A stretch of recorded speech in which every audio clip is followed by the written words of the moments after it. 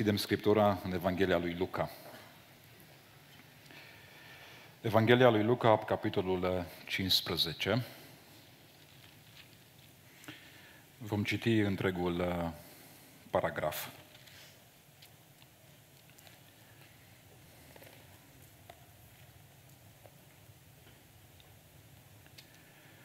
Toți vameșii și păcătoșii se apropiau de Isus ca să-L asculte.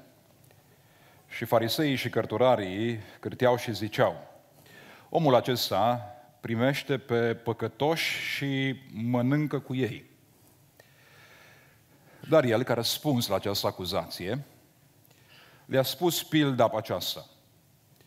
Care om dintre voi, dacă are o sută de oi și pierde pe una din ele, nu lasă pe celelalte 99 pe izlaz și se duce după cea pierdută până când o găsește?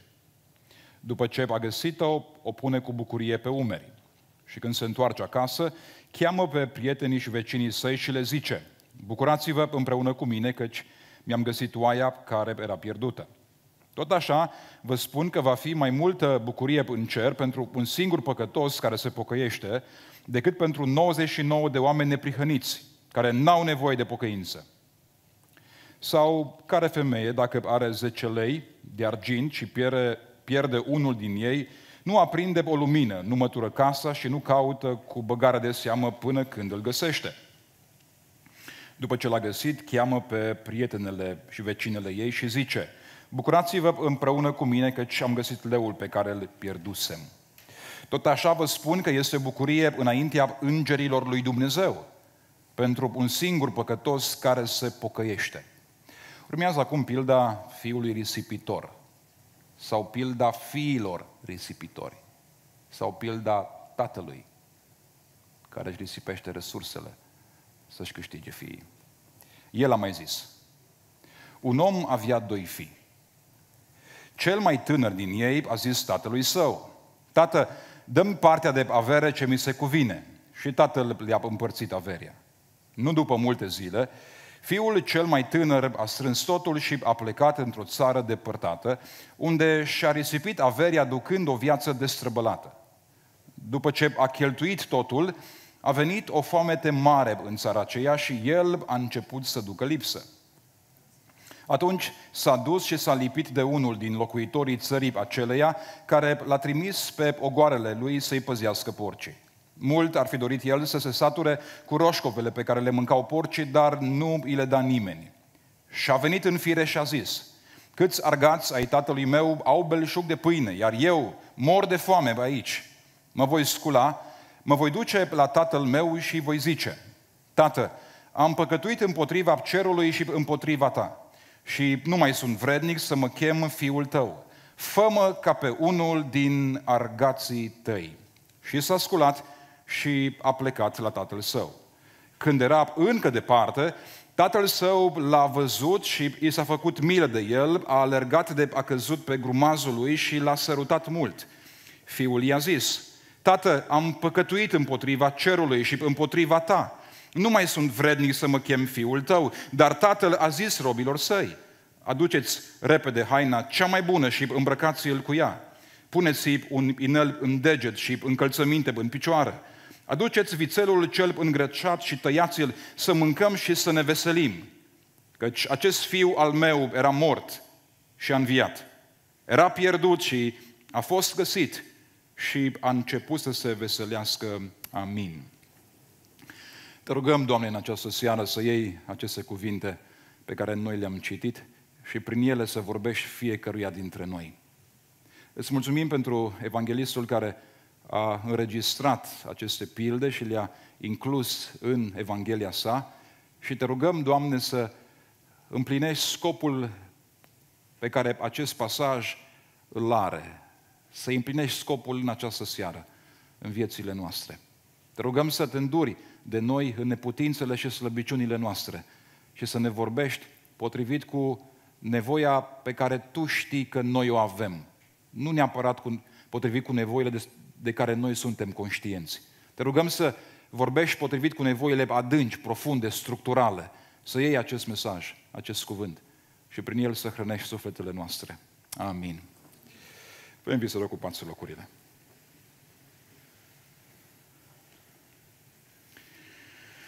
Ori de câte ori studiem pilda aceasta a fiului risipitor și, în esență, cele trei pilde pe care le-am citit, trebuie să ne reamintim că aceste pilde nu au fost adresate de Domnul Isus Hristos ucenicilor săi și nici măcar mulțimii care venise să-i asculte predica. Ci aceste pilde au fost adresate de Hristos cărturarilor și fariseilor. Și aș vrea tare mult să rețineți pentru început această observație. Tot ce am citit noi a fost adresat în mod special cărturarilor și fariseilor. Mai mult când stăm în fața acestor pilde, trebuie să ne reamintim că aceste pilde au fost menite să explice decizia lui Isus de a mânca cu vameșii și cu păcătoșii. O decizie scandaloasă pentru farisei, o decizie surprinzătoare, o decizie care avea să arunce cumva numele lui Dumnezeu în deriziune din perspectiva cărturarilor. Domnul este acuzat de faptul că stă la masă cu vameșii și cu păcătoșii și își explică decizia prin aceste pilde. Da, aceste pilde sunt adeseori predicate la ser de evangelizare și au în vedere tocmai oamenii care nu-L cunosc pe Hristos, dar în contextul lor de bază, acestea i-au vizat pe cei din adunare, pe cei indignați de felul de oameni care îl urmau pe Hristos. Cărturarii și fariseii sunt cei care îl acuzau pe Isus de comportamentul lui. Cărturarii de atunci sunt echivalentul profesorilor de teologie de astăzi. Echivalentul păstorilor, să se îndure Domnul de ei. Sarcina lor era să învețe poporul legea lui Dumnezeu și să protejeze legea și tradiția orală de orice fel de modificație sau alterație. Ei erau așadar cumva gardienii, gardienii legii lui Dumnezeu. Farisei de atunci sunt echivalentul diaconilor de astăzi, a învățătorilor de la școala duminicală, a membrilor din diversele comitete ale bisericilor.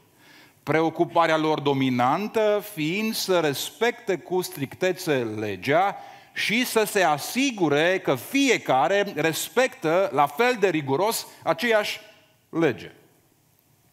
Chiar dacă de cele mai multe ori și cărturarii și fariseii sunt descriși într-o notă negativă în cele patru evanghelii, trebuie să înțelegem că motivația lor de bază a fost o motivație foarte bună. Ei încercau să protejeze și să apere reputația Dumnezeului lui Israel – să apere caracterul lui Dumnezeu, numele lui Dumnezeu, legea lui Dumnezeu. De aceea, în cazul nostru, ei reacționează cu vehemență împotriva lui Hristos, pentru că din perspectiva lor, ceea ce Hristos făcea arunca numele lui Dumnezeu în deriziune, aducea rușine caracterului lui Dumnezeu, îl făcea pe însuși Dumnezeu de râs. Hristos, prin faptul că mânca cu vame și și cu păcătoșii, era considerat acel proroc, acel profet care făcea de râs numele lui Dumnezeu. Pe farisei îi scandalizează că Iisus mănâncă cu aceste categorii de oameni. Pentru că mănâncă? Pentru că mănâncă? Da. În cultura din Palestina primului secol, a sta la masă cu cineva însemna mai mult decât înseamnă astăzi. Era un act sacramental care semnifica acceptare totală. Ați auzit bine. Acceptare totală. Această masă îl face de râs. Îl pune într-o lumină nefastă, nepotrivită, pe Dumnezeu și legea Lui. Tu faci de râs. Reputația lui Dumnezeu, spun cărturarii și farisei. În fața acestei acuzații, Hristos răspunde prin cele trei pilde. Pilda oiței pierdute, pilda bănuțului pierdut și pilda fiului risipitor. Aceste pilde sunt în mod eronat numite așa, deoarece pildele vorbesc dominant, profund despre păstorul care își caută oița, despre femeia care își recuperează bănuțul și despre tatăl care își reprimește fiul acasă. Prin aceste pilde, Domnul Iisus Hristos creează un portret. Un portret al tatălui despre care fariseii spuneau că a fost făcut de rușine prin comportamentul lui Isus. Prin aceste texte, Domnul Isus Hristos creionează, descrie, portretizează inima Tatălui. Cel care este chipul Dumnezeului nevăzut, cel care a spus, cine m-a văzut pe mine, a văzut pe Tatăl, cel din sânul Tatălui, cel care a stat și stă cu Tatăl față în față, el și Tatăl una fiind, cel care îl cunoaște pe Tatăl, acela vine să ne vorbească despre Tatăl, acela este cel care ni-l descrie pe Tatăl, acela este cel care portretizează inima Tatălui. Inima acelui Dumnezeu despre care farisei au spus, acest Dumnezeu este făcut de râs tocmai prin comportament comportamentul tău. A fost făcută de râs reputația Tatălui prin comportamentul Domnului Isus Hristos? Vă rog să priviți împreună cu mine în seara asta la pilda fiului risipitor sau la pilda fiilor risipitori sau la pilda tatălui care își risipește resursele pentru a-și câștiga fiii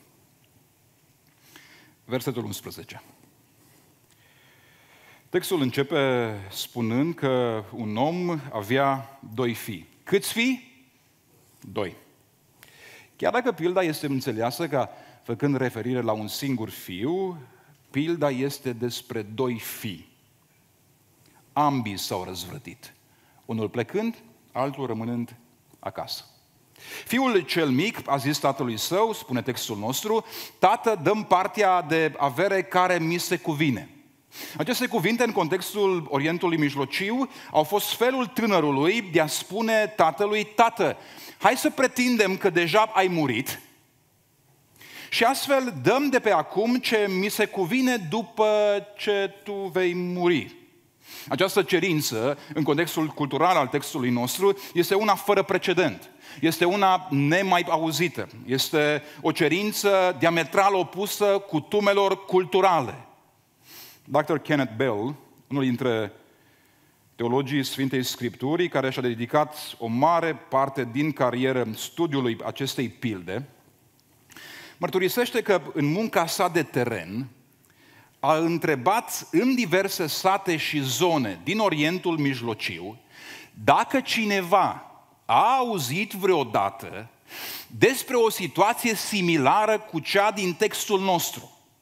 Despre un oarecare tânăr care la un moment dat și-a cerut partea de moștenire de la părintele său în timp ce tatăl său încă era în viață. Și teologul spune în felul următor, răspunsul primit în orice cotlon, în orice zonă, în orice regiune a fost nu. Lucrul acesta este inimaginabil, i-au mărturisit oamenii. Și Kenneth a continuat. I-am întrebat pe oameni, spune el, dacă s-ar întâmpla vreodată ca cineva să vină cu asemenea cerință, dacă s-ar întâmpla așa ceva, care ar fi răspunsul tatălui dintr-o asemenea cultură? Iar oamenii la unison i-au spus, o, oh, dacă așa ceva s-ar întâmpla, tatăl acela, în mod public, în piața cetății, și-ar pedepsi fiul și l-ar lovi peste obraz, pedepsindu-l, în așa fel încât să transmită o lecție pentru toate generațiile. Dar vreau să ascultați continuarea textului nostru. Cum ar fi trebuit tatăl să-i răspundă fiului său? Și din punctul acesta se declanșează o cascadă de surprize. Surprize, surprize. Versetul 12. Tatăl i-a, i-a dat fiului partea de moștenire. Tatăl și-a împărțit averia și i-a dat fiului ce îi se cuvenea. În acest punct din narațiune, Imediat după împărțirea moștenirii, așteptarea audienței era cel puțin ca tatăl să-și renege fiul. Și după ce i-a dat proprietatea care îi se cuvenea, să-i fi spus, de azi încolo, de azi încolo, nu te vei mai numi fiul meu. Relația noastră s-a încheiat. Ești un fiu mort pentru mine. Totuși, nici asemenea cuvinte nu se aud în pasaj, lucru care lasă inima tatălui în durere. Vă rog să vă reamintiți, Domnul Iisus Hristos folosește acest pasaj să creioneze portretul lui Dumnezeu. Să descrie inima acelui Dumnezeu despre care fariseii spuneau că are o reputație pătată tocmai din cauza comportamentului lui Hristos. Și textul continuă.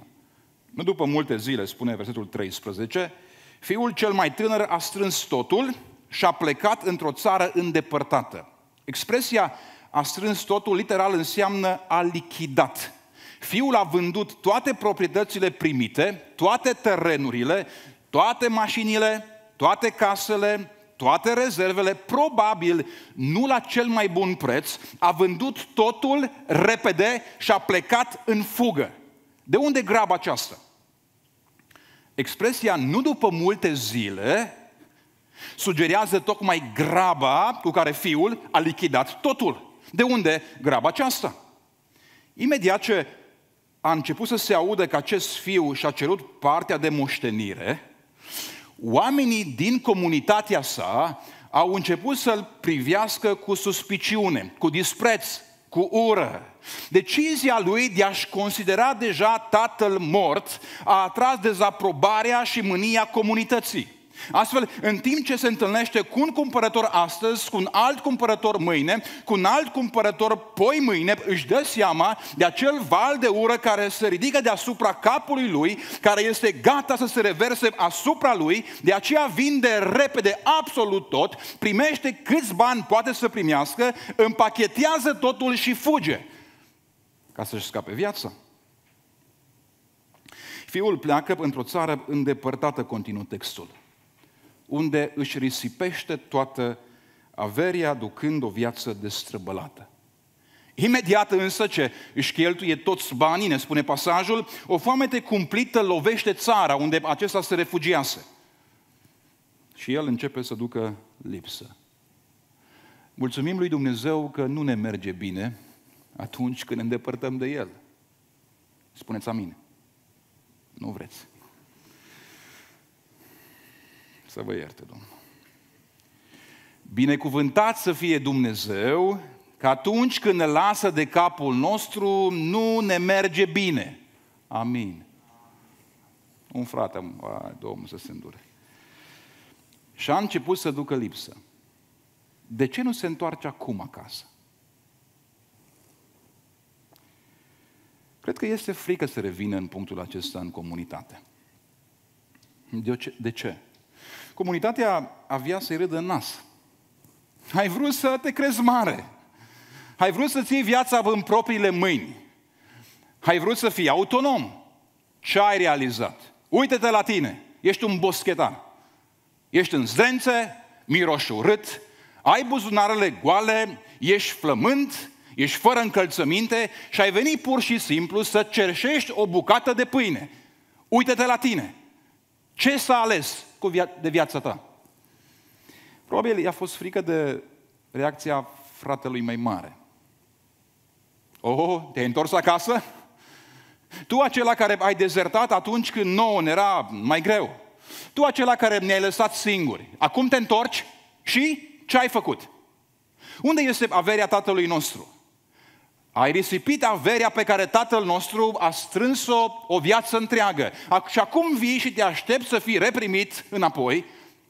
Dacă ar fi fost mai plin de milă, probabil fratele mai mare i-ar fi spus, da, te reprimim, dar mai întâi du-te muncește, agonisește și pune înapoi tot ce ai luat.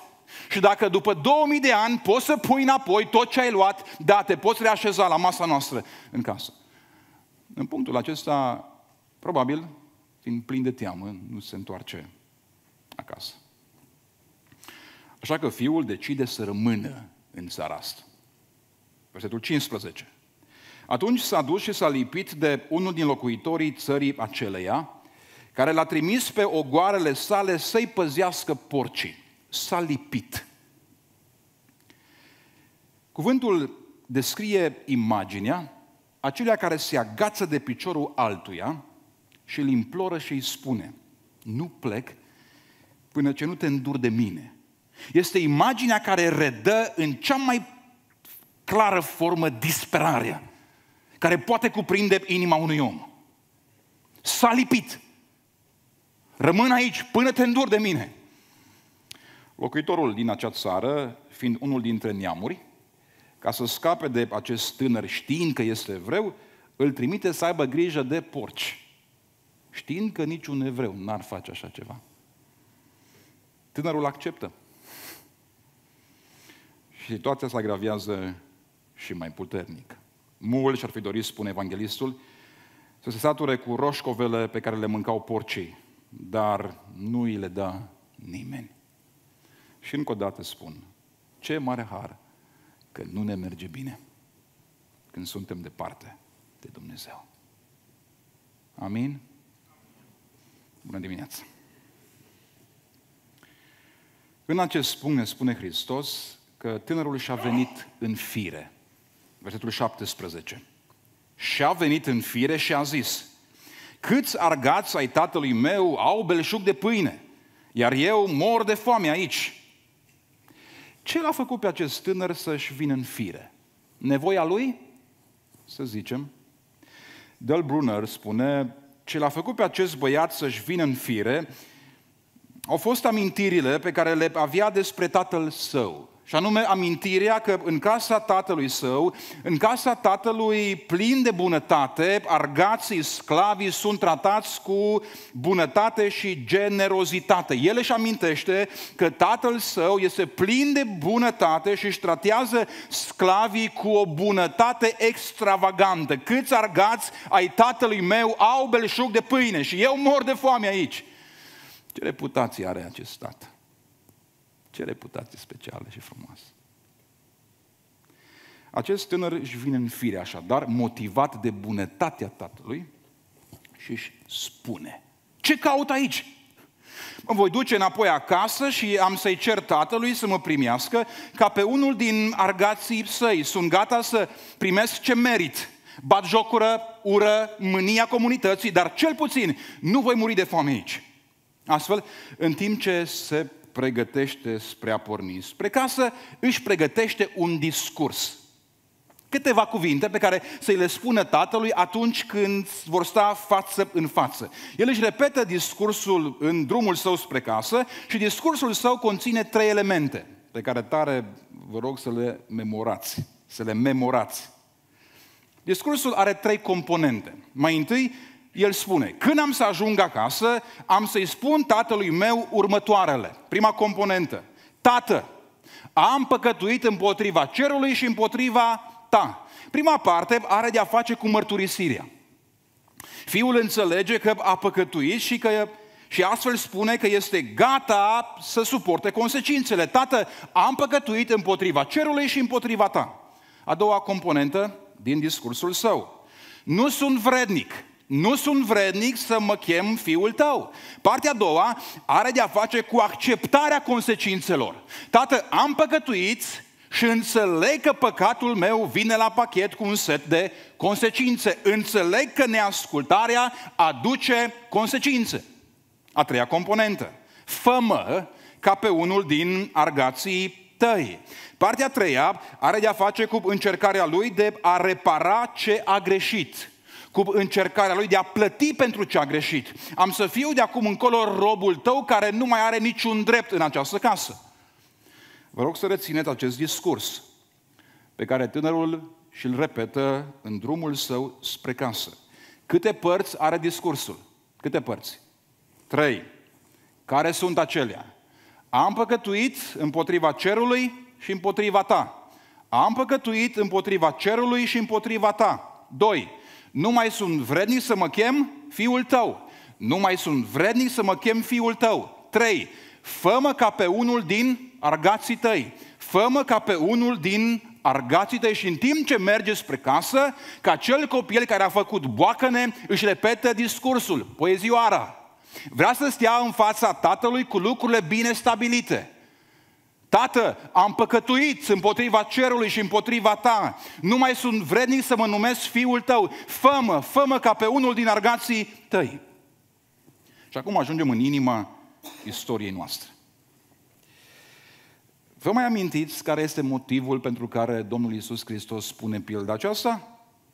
Gardienii reputației lui Dumnezeu îl acuzaseră pe Hristos că făcea de rușine numele lui Dumnezeu prin faptul că mânca cu vameșii și cu păcătoșii. Ca urmare a acestei acuzații, Iisus alege aceste trei pilde și în mod special ultima pildă prin care îl descrie pe Dumnezeu și prezintă inima lui Dumnezeu.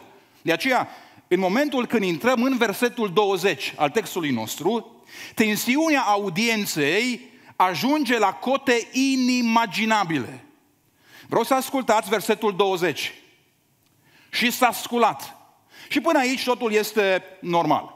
S-a sculat și a plecat la tatăl său. Și până aici totul este în regulă.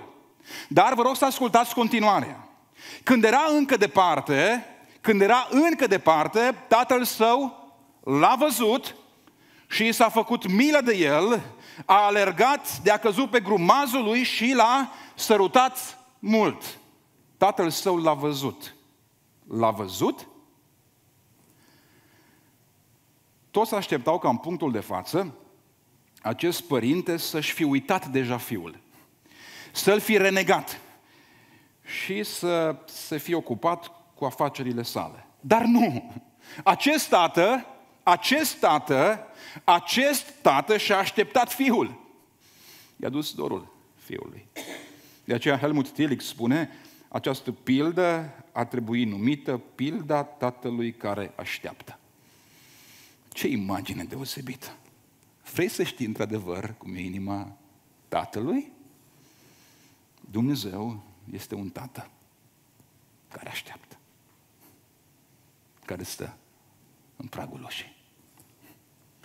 Și tatălui i s-a făcut milă. I s-a făcut milă? O, nimeni nu s-a așteptat la așa ceva. Fiul trebuia întâmpinat cu vorbe de ocară, pălmuit, trebuia pedepsit, trebuia dezbrăcat și pus în piața cetății, trebuia să fie tras la răspundere. Fiul nu este vrednic de milă și a făcut-o cu mâna lui.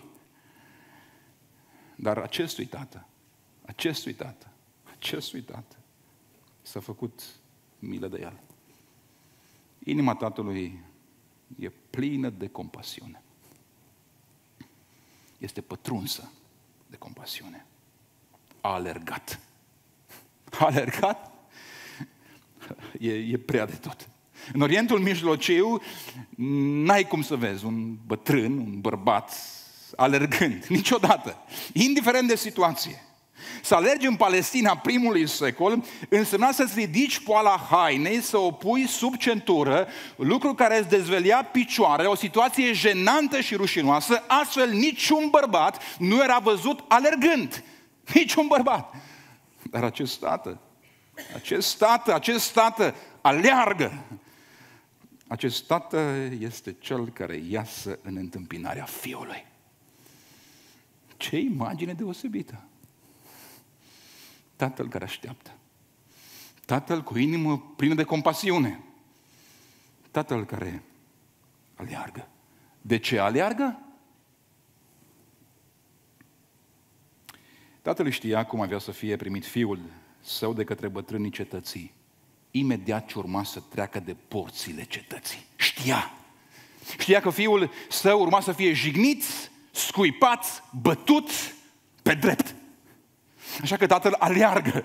Tatăl aleargă ca să prevină toate acestea. Și textul continuă. Tatăl a alergat, de, a căzut pe grumazul lui și l-a sărutat mult. O, tatăl aleargă și își ia în brațe copilul, îl strânge la piept, îl cuprinde cu mâinile sale și îl sărută mult. Ce imagine! Așa arată inima lui Dumnezeu. Tatăl ar fi trebuit să rămână acasă. Ar fi trebuit să-și ignore fiul la întoarcerea fiului, dar acest tată aleargă și își ia în brațe copilul. Îl ia în brațe și îl sărută mult, chiar dacă miroase îngrozitor. În momentul acesta, tatăl se face una cu fiul său.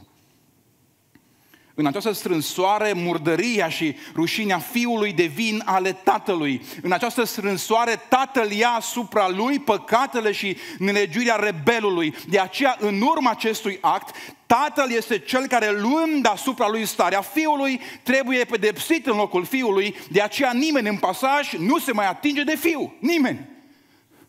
Pășește liniștit. Ce imagine! Așa arată Dumnezeu? Da. Așa e inima lui.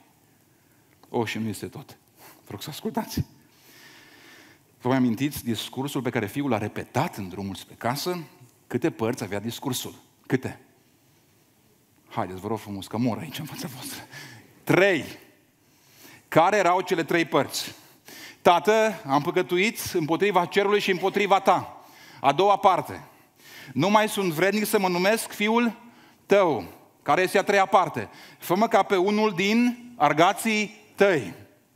Vă rog să observați acum ce se întâmplă în textul nostru.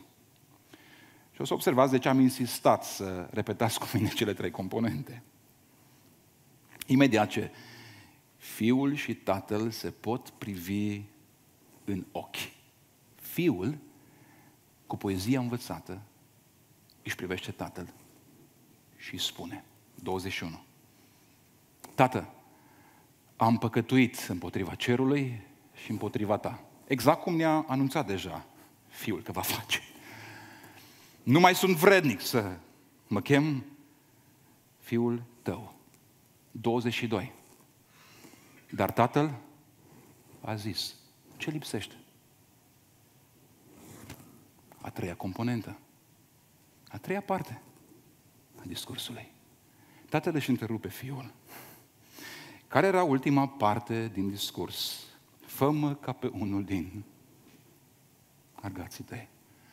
Tatăl își lasă fiul să-și mărturisească păcatul, își lasă fiul să înțeleagă consecințele păcatului său, însă mai apoi tatăl își întrerupe fiul. Fiul nu mai apucă să spună a treia parte, pentru că tatăl începe să vorbească. A treia parte avea de a face cu încercarea fiului de a plăti pentru păcatul lui. Fă-mă ca pe unul din argații tăi. Vreau să plătesc pentru ce am făcut. Dar tatăl își întrerupe fiul. Și această întrerupere este Evanghelia. Această întrerupere este vestea bună. Tatăl nu ne cere să plătim noi pentru păcatele noastre. Cum am putea face acest lucru? Nu, Tatăl nu cere așa ceva. Tatăl nu ne lasă să ne câștigăm noi, prin meritele noastre, intrarea în casă, în împărăție. Tatăl ne oprește atunci când stăm în fața ultimei componente. Dar tatăl a zis robilor săi, ce a zis tata? Aduceți repede haina cea mai bună. Probabil cea mai bună haină a tatălui și îmbrăcați-l cu ea. Puneți un inel în deget și încălțăminte în picioare. Fiul este îmbrăcat cu haina tatălui acoperit de haina tatălui. Fiul intră acum în comunitate, pășește pe străzi, păzit și ascuns de haina tatălui cu care este îmbrăcat. Ce imagine! Ce imagine! Dumnezeul Sfânt ne îmbracă pe noi, păcătoși, cu neprihănirea Fiului Său. Și astfel putem intra liniștiți, putem păși în siguranță, să-i puneți un inel în deget, continuă tatăl. Și nu orice fel de inel, este inelul folosit pentru a sigila documente. Stai puțin, stai puțin.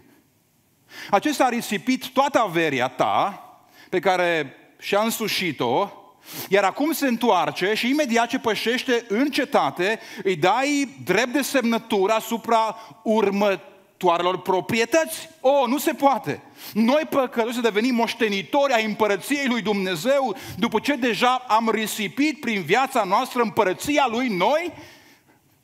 Puneți-i sandale în picioare, se aude.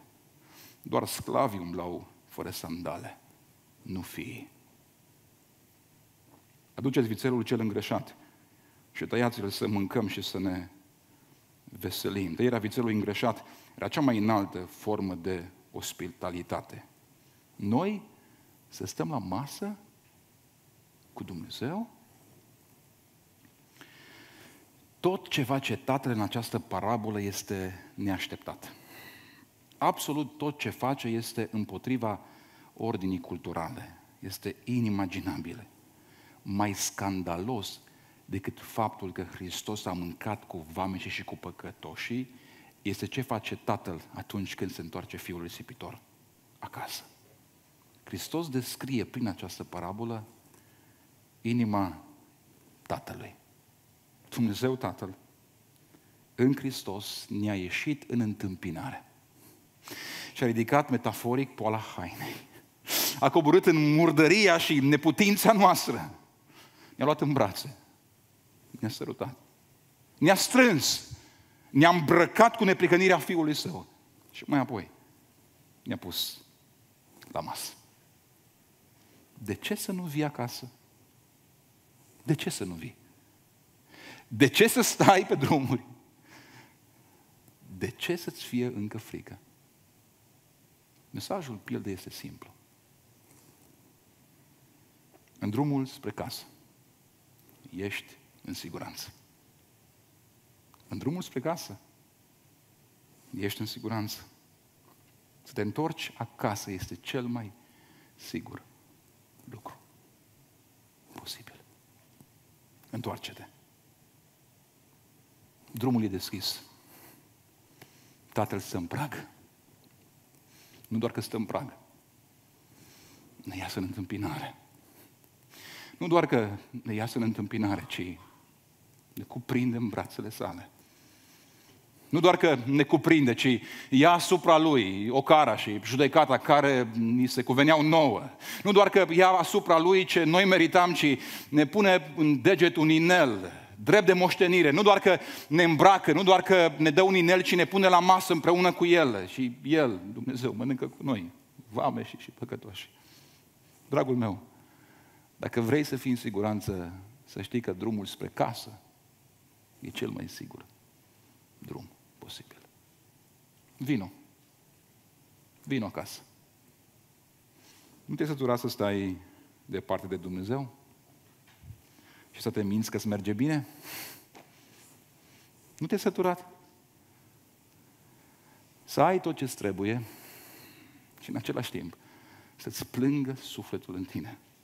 Să tragi noaptea plapuma peste ochi. Și în sufletul tău să nu știi cum să te mai adun pentru a doua zi. Crede-mă, drumul spre casă e drumul binecuvântării. Să nu-ți fie teamă te poți întoarce chiar acum. N-aștepta să ajungi în cel mai de jos punct posibil. Dacă auzi azi glasul lui Dumnezeu, și cred că l-ai auzit, dacă l-auzi astăzi, răspunde invitației Tatălui. El nu te-a uitat, nu te-a lăsat, nu te-a abandonat. Privirea lui te vede pe tine acolo, după colț. Îți vede obiecțiile, regretele, nemulțumirile. E tatăl care așteaptă, tatăl plin de milă, tatăl care aleargă, tatăl care vine în întâmpinare, tatăl care te îmbrățișează, tatăl care te îmbracă, tatăl care te pune la masă. Asta e Dumnezeu. Așa arată Dumnezeu. Așa arată Dumnezeu. De aceea, a mâncat la masă cu vameșii și cu păcătoșii nu murdărește reputația lui Dumnezeu, ci mai degrabă revelează, manifestă inima lui Dumnezeu. Vreți să ne rugăm? Și dacă nu vreți, ne ridicăm picioare. Haideți să stăm înaintea Lui în rugăciune. E o ocazie tare bună când îi poți spune Domnului, Doamne, m-am hotărât să vin. M-am hotărât să vin. Îți mulțumesc pentru drumul deschis.